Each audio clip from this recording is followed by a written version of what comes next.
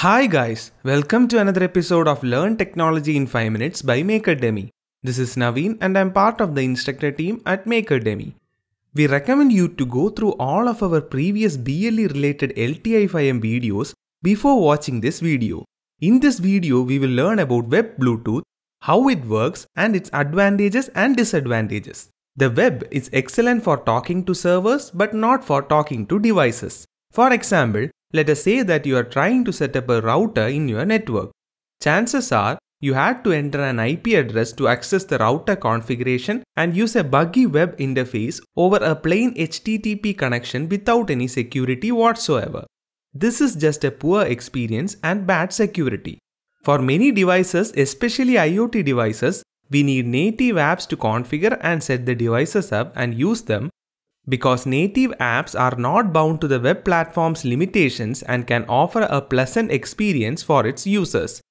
While we have solved the user experience problem, however, we would not want to download a 500 megabytes native app to do that. What if the device is already a few years old and the device manufacturer never updates the software? Also, what if we want to use a desktop or laptop to interact with the device but the manufacturer only built a mobile app? Also not an ideal experience. Web Bluetooth is the solution for this. So what is Web Bluetooth?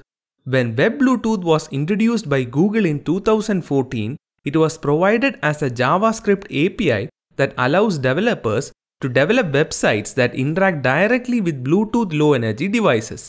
This is done by the browser gaining access to the Bluetooth low energy chipset that's embedded in the device that the browser is running on. This could be a smartphone, a PC, a tablet or whatever device that's capable of running a web browser that supports Web Bluetooth. Let's look at how Web Bluetooth works in much detail.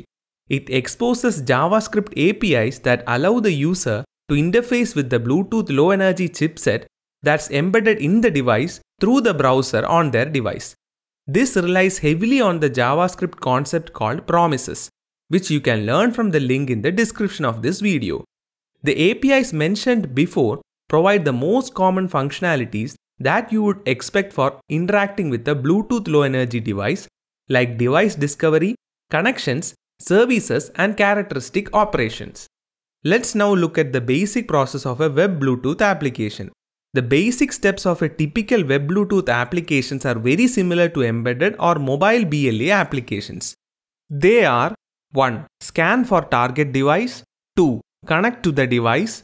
3. Find the GATT service of interest. 4. Get the characteristic of interest in that GATT service. 5. Perform operation or operations on the characteristic. This can involve read, write, enable notifications, etc. Now let's look at some of the benefits of Web Bluetooth. 1. Some of these include eliminating the need for multiple native applications to talk to different Bluetooth low energy devices. Instead, one web application can be developed to talk to multiple BLE devices. 2. Rapid and easy development.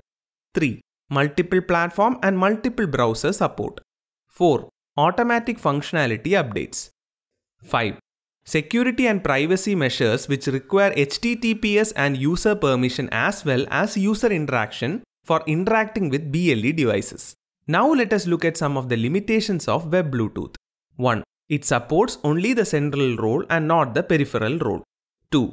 No support for automatic discovery and connectivity. 3. Lack of APIs for other functionality and newer Bluetooth low energy features. 4. Not suitable for complex applications. That is all folks. If you like this video, smash the subscribe button and ring the bell to be updated about our future video releases.